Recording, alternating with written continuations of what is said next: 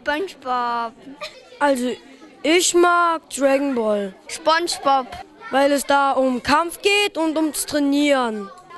Also ich mag Second, Co Second Cody an Bord, weil das ganz lustig ist und das sind zwei Zwillinge, die ganz lustig sind. Einer ist ein Streber und einer ist ein kluger, also ein cooler.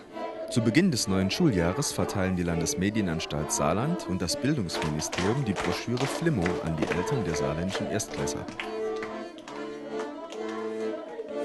Bildungsminister Klaus Kessler, LMS-Direktor Dr. Gerd Bauer und der Saarbrücker Kulturdezernent Erik Schrader stellten die Broschüre, die Tipps zur Fernseherziehung gibt, in der Freiwilligen Ganztagsgrundschule Volsterhöhe in Saarbrücken vor. Wichtig ist, denke ich, mit den Kindern ins Gespräch zu kommen, wie die Medien richtig genutzt werden. Man kann das sicherlich nicht über Verbote ähm, steuern, aber man kann doch bestimmte Hinweise geben, was vielleicht kindgerechte Sendungen sind, wie man auch kindgerecht mit Medien umgeht.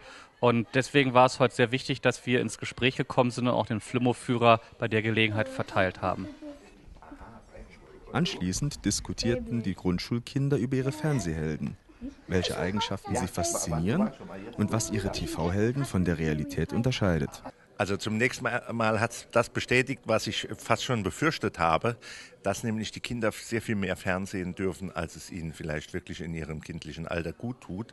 Äh, sie haben ja gemerkt, die Mehrzahl der Kinder äh, hat äh, davon geredet, dass sie, wenn sie krank sind, den ganzen Tag Fernsehen gucken, dass sie zumindest deutlich länger als eine Stunde im Schnitt am Tag Fernsehen schauen. Und die Empfehlungen, die wir eigentlich dringend an die Eltern geben, ist, Kinder im Alter von fünf, sechs, sieben Jahren sollten maximal eine Stunde Fernsehen am Tag, wenn überhaupt jeden Tag schauen. Zugleich erhielten die Eltern der Drittklässler die Broschüre Wissen, wie es geht. Tipps zum Einstieg von Kindern ins Internet.